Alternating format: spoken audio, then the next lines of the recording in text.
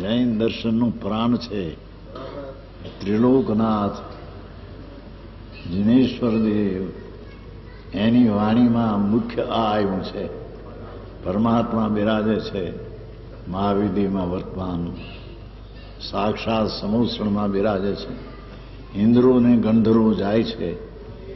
નાગને વાઘને સિંહ જંગલમાંથી પણ સાંભળવા સમુસણમાં જાય છે.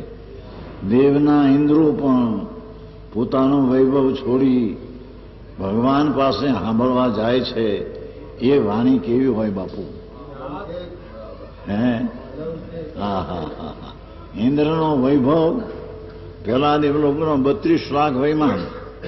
એક વૈમાનમાં સિંહદેવ, એનો લાડો અને ક્રૂડો પસરાવું એ સંકેતી જ્ઞાની છે ત્યાં આત્મજ્ઞાની છે.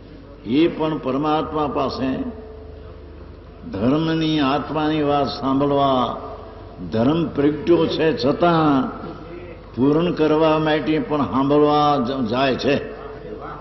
એવી કથા ધર્મની મોંઘી છે. જે વૈભવ છોડીને સાંભળવા આવે, અહીં ઘરેથી જરીક શાક લઈને કંઈક શાક આવ્યું નહીં તો હું શાક લઈ આવું, પછી જાઉં. એટલી તો કિંમત સાંભળવાની હજી એને.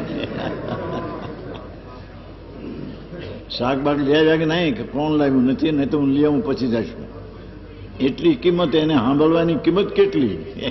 હા હા આ કે છે